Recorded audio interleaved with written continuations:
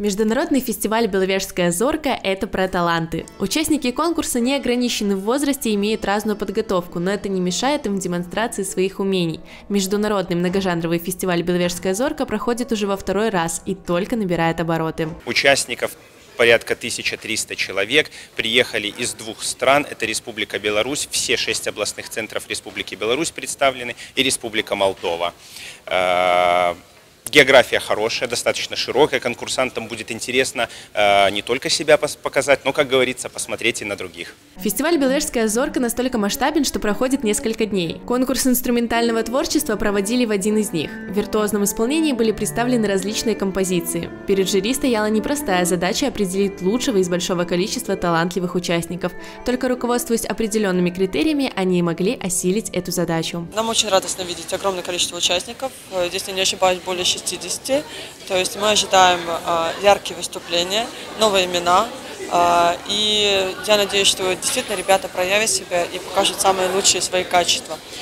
А, я э, знаю, что здесь необходимо представить разножанровые, абсолютно разнообразные произведения. То есть мы будем слышать абсолютно э, полярные в чем-то, абсолютно не похожие произведения, которые позволят нам э, действительно полностью оценить э, конкурсантов и увидеть все их возможности профессиональные. Каждый участник Беловежской зорки мог и себя показать, и на других посмотреть, а это и есть одна из целей форума творчества. А еще это возможность научиться чему-то новому, весело провести время и познакомиться с другими восходящими звездочками. А потому фестиваль стал не просто пробой сил, а настоящим проектом дружбы с большой буквы.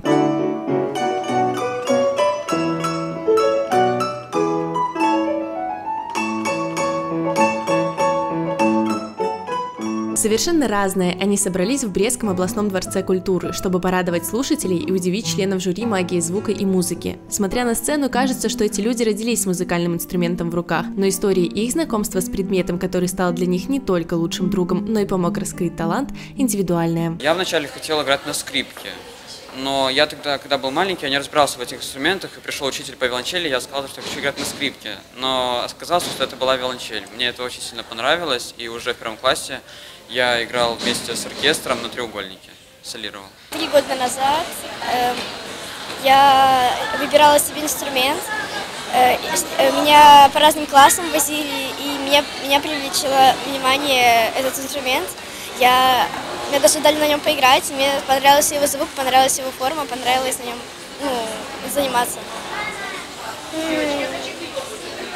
Я пришла, и я хотела выбрать инструмент, и мне посоветовали добру, и мне понравилось на ней. Стоит отметить, что каждому участнику фестиваля обеспечен подарок – поездка в резиденцию Деда Мороза, где талантливые ребята смогут в полной мере прочувствовать новогоднее настроение и окунуться в атмосферу доброго волшебства. Ирина Кузьмич, Павел Малашонок, Александр Макаревич, телекомпания Бук ТВ.